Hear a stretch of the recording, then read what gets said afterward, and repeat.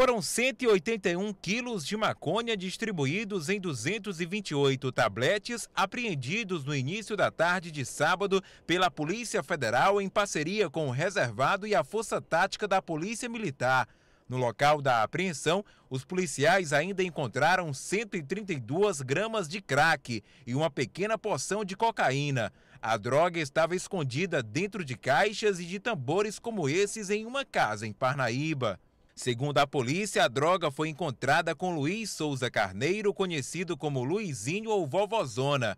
Com ele, uma Hilux prata com placas de Teresina foi apreendida. O acusado é primo de um homem identificado por Regino, que foi preso no mês passado com 232 quilos de maconha.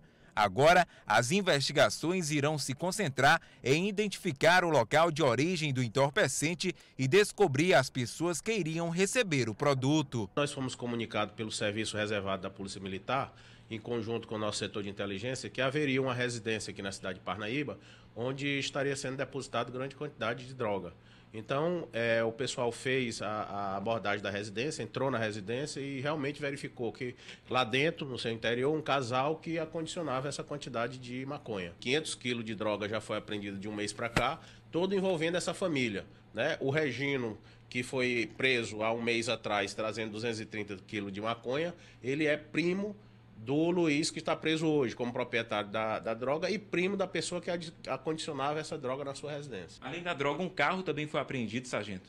Foi. Após a apreensão, eles encontraram o, o primo do Luizinho, que disse que a droga era dele, do Luizinho.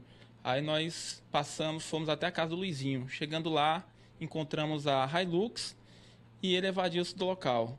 Empreendeu fuga, a gente perseguiu e conseguiu capturar ele na rua Davi Caldas, próximo da sua casa.